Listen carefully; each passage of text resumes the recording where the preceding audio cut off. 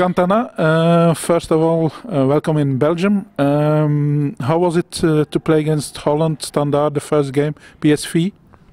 เขาบอกว่ายินดีต้อนรับที่มาเบลเยียมแล้วก็ถามว่าเป็นยังไงบ้างตอนแข่งกับฮอลแลนด์แล้วก็ PSV กับทีมเนี้ยด้วยอะผู้ไทยนะ ได้ เดี๋ยวหนูไปให้ อ่ามันเป็นเกมแบบว่าเราได้ประสบการณ์มากขึ้น จากทีมที่ยุโรปที่เราจะต้องเจอในฟุตบอลโลก um, it's been a good learning experience for us playing against some European teams and kind of seeing what way to compete against when we go to the World Cup.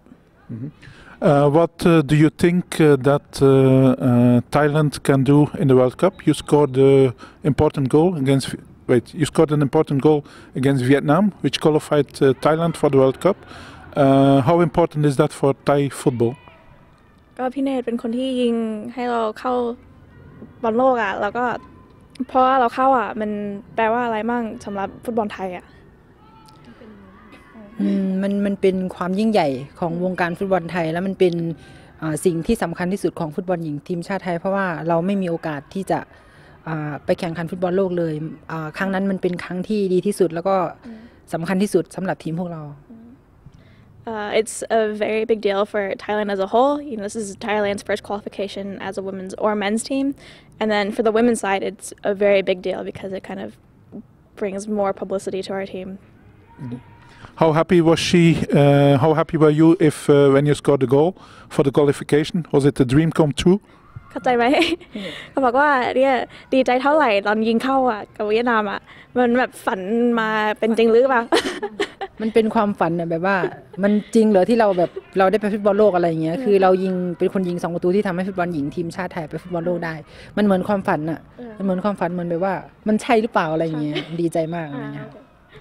uh, definitely a dream come true. It's still kind of hard to believe sometimes that it actually happened. And what do you hope for uh, Canada? Uh, how, what do you expect to when you are over there? You play Germany, Norway, uh, Ivory Coast. What are the options? What are the possibilities? คิดว่าเราจะทำยังไงมั่งตอนไปบอลโลกอะเราเล่นกับเยอรมันอะไรนอร์เวย์แล้วก็ไอริโคสอะคิดว่าจะสู้ได้ไหม เราต้องพยายามทำให้ดีที่สุด เราต้องรับให้ดีแล้วก็โต้กลับให้ดี ถ้าเรามี